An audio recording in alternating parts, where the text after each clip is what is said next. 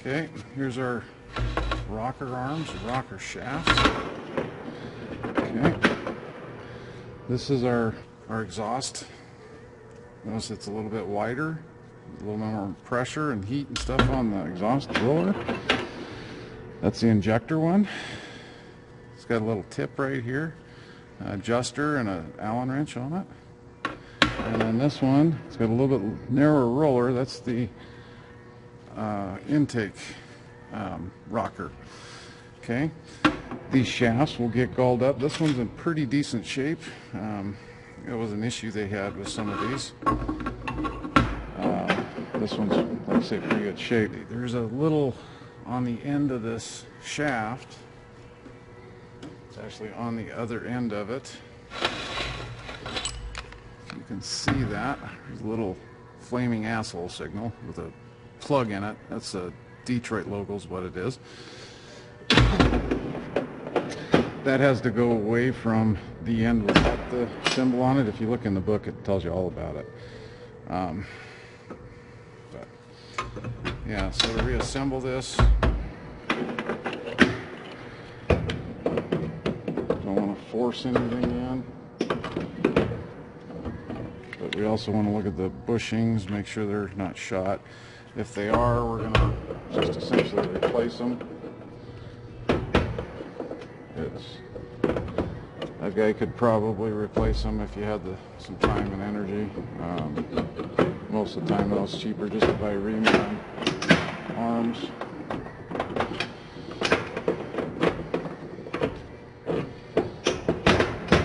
And plugger to get back together.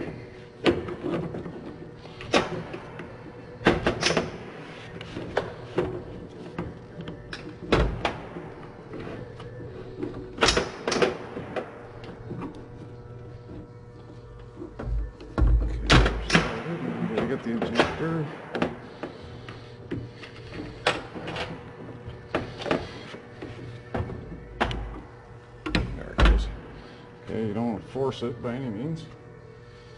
Make sure it goes in there the way it's supposed to.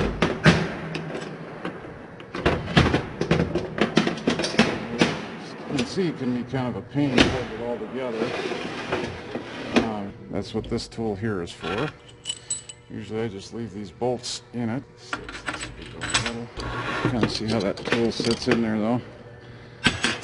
Uh, this tool really simplifies the installation.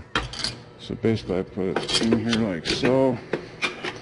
A lot of places like too, and then I pick it up like so. And I can set it right on my engine. There's a nut on two ends of these things. That's why there's not another bolt in there. Okay, we're gonna go ahead and install our rocker shafts. Essentially, this one's marked one, two, three, and also looking at those marks I was showing you on the ends of the shafts earlier. Okay, so that one's installed. Second one.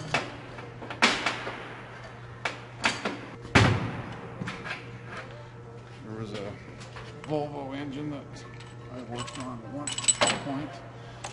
This whole rocker assembly was one piece. So all six of them, and they didn't have a special tool like this, so I had a bunch of zip ties and about six guys to help me put that on. Anyways, there's the tool, kind of a lifesaver. Okay, there's a clamp that goes over the shaft on each end. One goes there, one goes here. Now I'm going to look up the torque specs and go through and torque all this. Okay, I'm going to torque my rocker shafts. I kind of notice they're not all the way down because we're on some, some of the cam lobes are up, some aren't. So we're going to push valves in. One thing you don't ever want to do is loosen these up um, before you put it on. Um, if you're putting a new uh, rocker shaft on, you'll want to, but if you're using the existing stuff, I wouldn't mess with these until you go to adjust the valves. It just makes it twice as hard to figure out how to set them. Um, so basically what we're going to do is we're going to start here.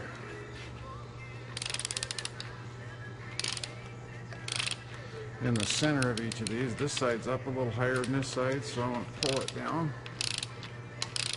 And I don't really want to do this with an impact gun because I can feel this a lot better. If something were to hang up, I'd know it.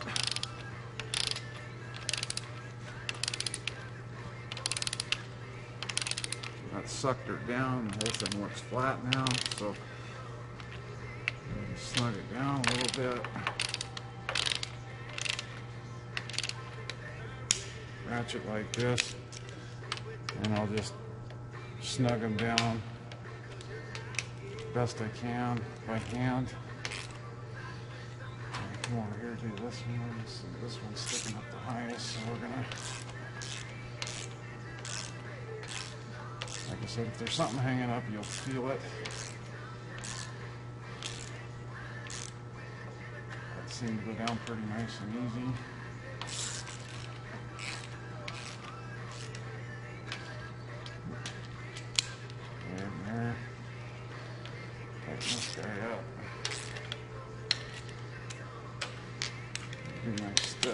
Nuts on my studs. Now, if you would have had the just the cam or the rockers off to change injectors or something, um, you want to double check the stud, and that's with this special socket that we use to put those studs in. It's a 12 millimeter, but the center's got to be bored out for it to work. Okay, so now I'll go ahead and torque them. Torque's 93 to 108. I put them on dry, so there's a little oil, but I'd rather go tighter on this just to make sure it holds torque. If that didn't hold torque, we'd have some issues. I kind of remember this one was higher, so I'm going to torque this one first. Do the center two, because it's a, know, two here, two outboard ones. The whole bringing things down evenly if we can. I'm gonna torque my two nuts, they torque to the same thing.